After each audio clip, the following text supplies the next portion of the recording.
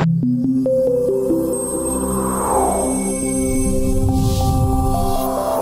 everyone, Molly here from Molly Pearson Fitness, and I'm tired. I took a yoga class earlier this afternoon, which I really needed, and it was just so nice to stretch out my muscles and really kind of get long into them rather than that real quick kind of explosiveness. So, and it was tough too, it was a tough class. So, this is workout number two for the day, and yeah, that's it. Uh, check it out, and I'll see you at the end.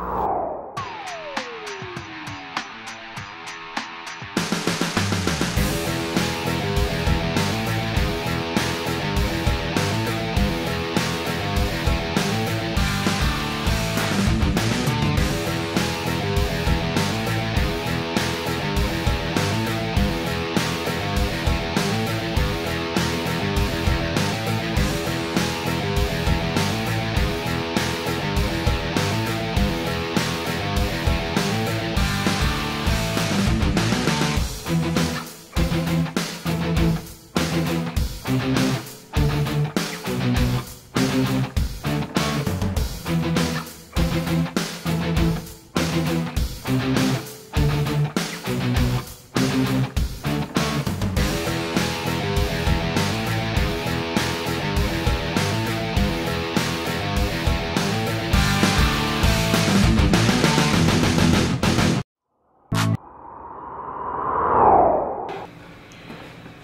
gonna give you the three secrets to finishing an insanity workout.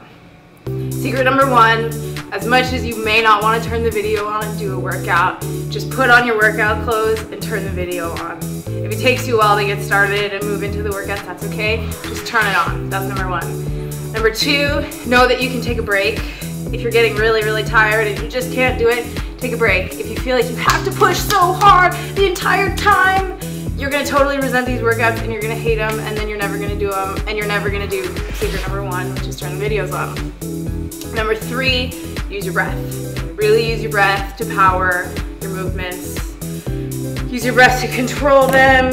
Use your breath. There's so much power in it. If you learn how to control your breath, you can send breath to different parts of your body and it can just, you know, you're oxygenating your muscles and you're giving them a little bit more power and a little bit more fuel. I'm gonna write more about these three secrets on my blog, so you can go check it out over there, mollypearsonfitness.com. And yeah, if you have secrets to finishing insanity workouts, let me know, write them in the comments. I'd love to know how you finish, uh, how you do them. These workouts, today's was 40 minutes. Um, as, as hard as it was, and it's really, really hard, and it gets your heart rate way up there, and you just hate them, it kind of goes by pretty quick. So it goes, it's, it's a fast 40 minutes.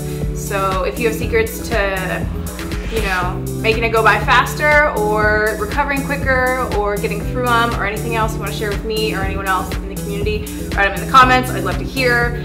And either here on YouTube or over on my blog, mollypearsonfitness.com. And I will see you tomorrow.